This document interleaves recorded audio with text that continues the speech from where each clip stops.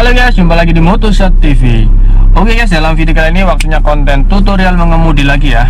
Yap, kita putar-putar kota Surabaya lagi. Oke, sekarang kita lewat jalan Darmo aja ya. Kita putar balik. Ini di jalan belakangnya McD itu loh guys. Belakangnya McD Oke, masuk yuk. McD Darmo. Nah Oke guys. Kita sekarang belajar Masuk ke jalan raya lagi ya. Teorinya jangan lupa ya Teori perpindahan gigi. Batas-batasnya Gigi satu itu sama dua Cuman 20 km Gigi di atas 20 pakai gigi 3 Kemudian di atas 40 pakai gigi 4 Ini kita masuk jalan raya Darmo Kita pakai lajur kiri dulu oper ke gigi 3 nah seperti ini ya kondisinya. Ini masih sepi masih enak sih masih gampang. Kita coba lewat mana ya? Yang rame ya yang agak-agak ruwet. Kita mau pakai lajur yang sebelah kanan ya. Bentar markanya masih marka lurus ini soalnya. Sebenarnya nggak apa-apa sih nah ini ya kita coba pakai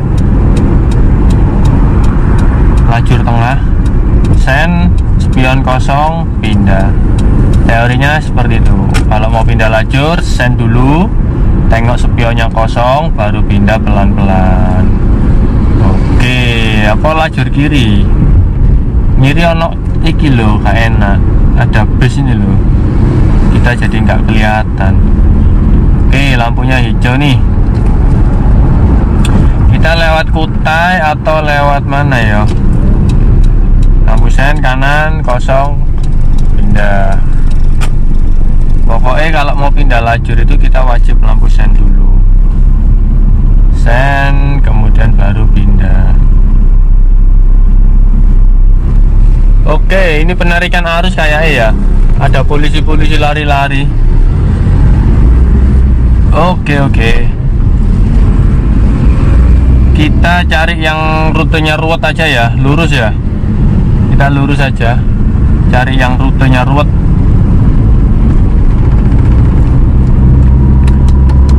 Oke ini di Darmo sebelah kiri Taman Bonggol ya. Tak duduk nih. Nah itu dia Taman Bonggol. Was was depan ada mobil pickup kita lampu sen spion ada frit biar dia ngalah. Nah, nanti setelah lolos ini kita masuk lagi ke kanan. Oke. Okay. kalau sudah di kanan tetap konsisten. Di atas 40 nih oper gigi 4 nah seperti itu guys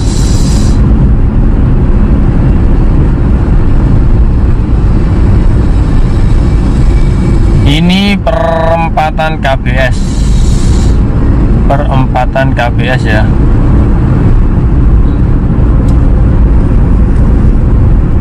Nah seperti ini. Ini sih masih lancar ya jadi ya enak-enak aja. Kurang tantangan lah kurang greget.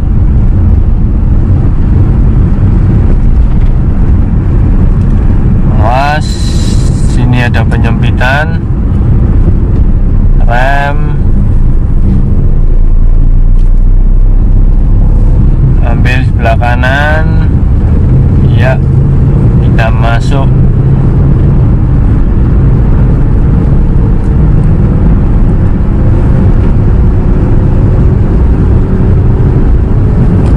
Oke okay guys.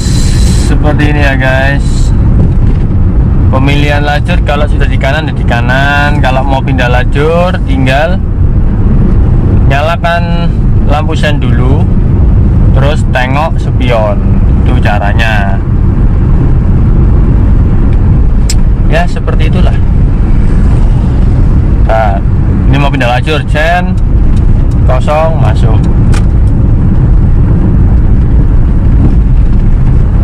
Oke kita naik flyover enggak ya tapi males aku.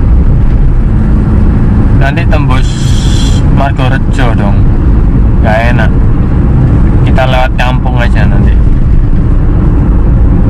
Ini gigi 4 ya karena kecepatan di atas 40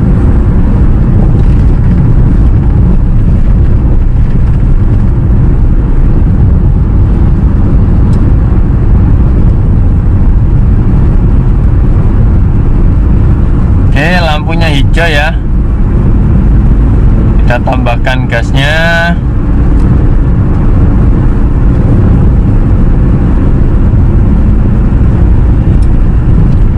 Yap.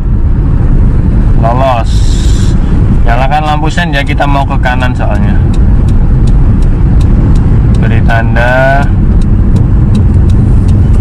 Spionnya belah kanan ditengok Aman nice kita pakai lajur kiri karena nanti mau masuk ke perkampungan. Kita pakai yang lajur kiri kalau lajur kanan untuk putar balik. Pas kita tengok lampunya hijau atau merah. Hijau guys. Oke dari sini kita langsung mecok ke kiri. Lampu sen dinyalakan. Nice oper ke gigi tiga. Awas pak becaknya. Nice. Oke okay, guys. Ini kita masuk ke raya Ketintang ya jalan Jerbis nah ini dia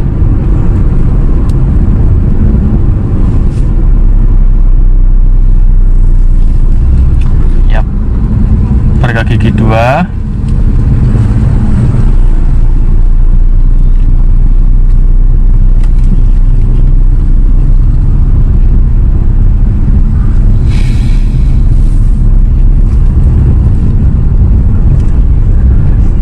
Oke okay, yes, ini agak menyempit jalannya ya. Nah di sini biasanya yang agak susah adalah ngepaskan bodi. Kalau pas simpangan seperti ini ya kita roper ke gigi satu. Tenang aja ya tenang aja nggak usah bingung. Nah kita lurus oke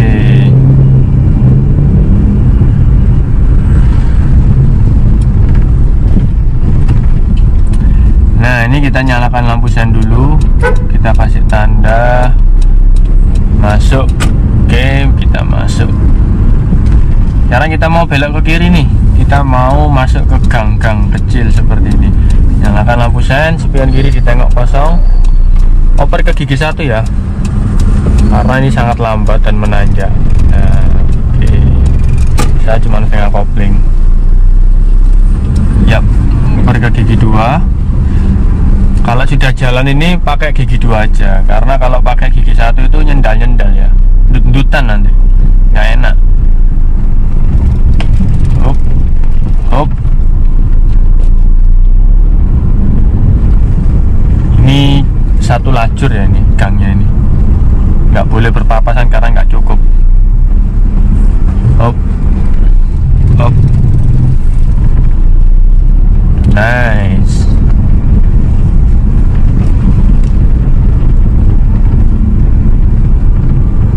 Nah seperti ini guys. Hop. Hop.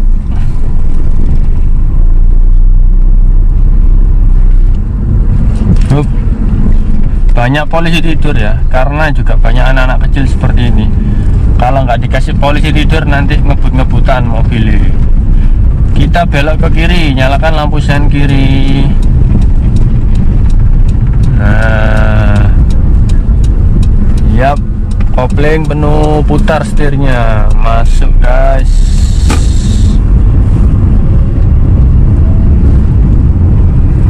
Oke. Sekarang kita belok ke kiri lagi.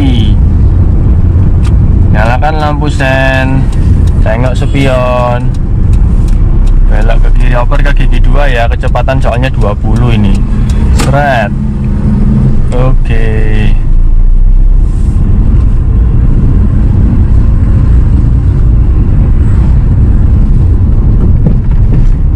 Yap. Ini cukup sempit jalannya. Tapi masih aman lah. Pokoknya untuk pemula itu lebih baik banyak-banyak berhenti ya. Kalau papasan berhenti gitu aja. Oke, kita nyalakan lampu sen kanan, kita kasih Pak Oga. Lampu eh lampu sen namanya kaca dibuka open sisi satu kita kasih eh Jun Jun. Oke tutup jendela. Yap. Ini ini jalannya cukup sempit dan volumenya cukup tinggi di sini. Ya kayak gini nih papasan. Kalau menurut saya kalau papasan gini lebih baik pepetkan yang sebelah kanan. Karena kita bisa ngukur sebelah kanan ini. Kalau sebelah kiri kita nggak bisa ngukur takutnya kena motor-motor gitu itu oke sekarang kita putar balik ya. Oke kita putar balik.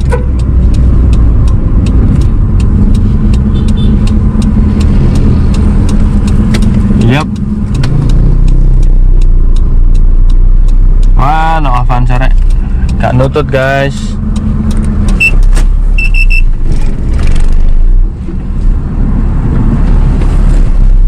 Harusnya Avanzanya nggak parkir di sini agak majuan buat putar balik.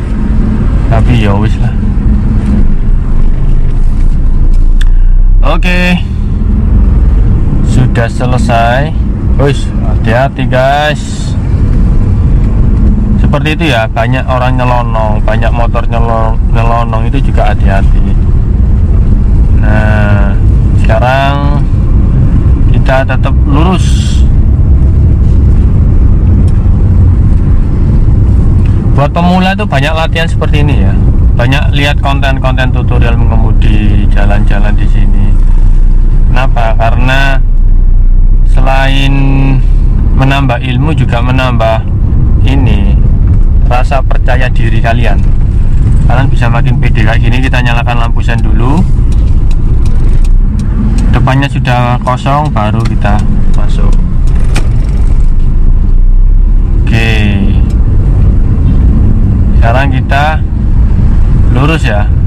Kita coba lurus.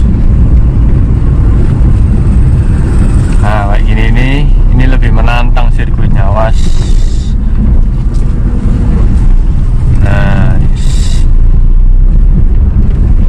Pelan-pelan aja. Kalau pemula saya sarankan untuk berhenti dulu kalau papasan dengan mobil. Tapi kalau yang sudah uh, pro sudah mulai berani nggak apa-apa awas oke masuk kok bisa ngukur masuk enggaknya ya feeling itu nggak ada teorinya saya nggak pakai teori jadi feeling aja kalau saya itu lebih suka mepetkan yang kanan karena yang kanan kan kita bisa ngontrol seperti ini ya Nah, kalau sudah mepet dengan kendaraan di depan, kiri pasti aman. Gitu aja. Karena apa? Karena jalanan ini tuh didesain untuk dua mobil memang. Dua mobil papasan aman. Jadi cukup. Nah, ini depan ada tikungan blank spot.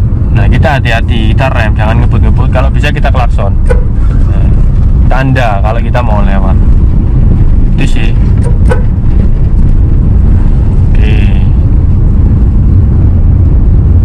Nah ini depan juga ada tikungan kanan blank spot Ada Avanza juga, Xenia ya Avanza nih Kita nyalakan lampu sen dulu Kita klakson nah, Bahaya Avanza parkir di sana itu Karena apa? Karena kan ada kita ke kanan Cek kita tak belok dulu Aku tak belok sih Kasih Pak Oga Ya Pak, Sun Jun. Nah, kita masuk jalan-jalan kecil aja biar seru ya. Was. Banyak mobil-mobil parkir sembarangan itu juga ngeri juga. jadi ya pelan-pelan aja. Nggak usah ke susu berapa menit. 17 menit ya. Oke. Kayak gini kita kasih klakson dulu. Tanda kalau kita mau lewat bleng bleng oke ya oke bleng bleng kalau lewat polisi tidur saya nggak ngopling ya karena kecepatannya juga cukup cukupan lah menurut saya kayak gini nih. Bleng bleng. Tapi kalau pemula sebaiknya ngopling aja. Aku tak mampir ke sini dulu ya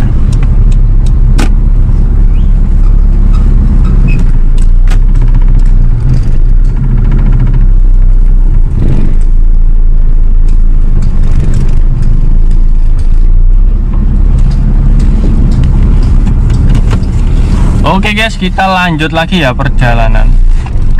Lanjut perjalanan tadi sempat berhenti ngambil laundryan guys. Ngambil laundryan. Hop, hop. Oke, sekarang kita lanjut perjalanan.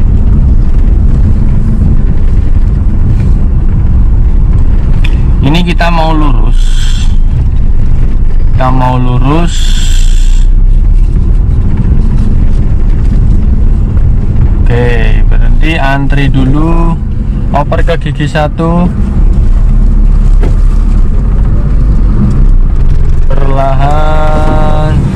Kita kasih Pak Oga dulu. Junjun, Nah. Oke guys, jadi seperti itu dulu untuk konten kali ini.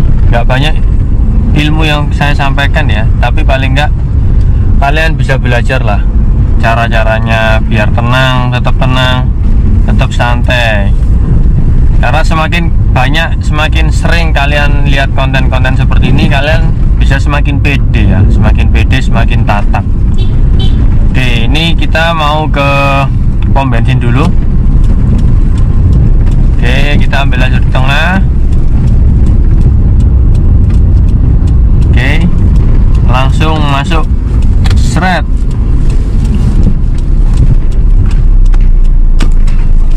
Yap, berhenti di sini guys. Oke okay, guys, jadi seperti itu saya closing dulu. Semoga video ini bermanfaat. Jangan lupa klik like dan subscribe jika kalian menyukai video ini. Jika ada kritik, saran maupun komen, silahkan ketik di kolom komentar. Terima kasih sudah menonton. Sampai jumpa di video-video vlog berikutnya. Bye bye.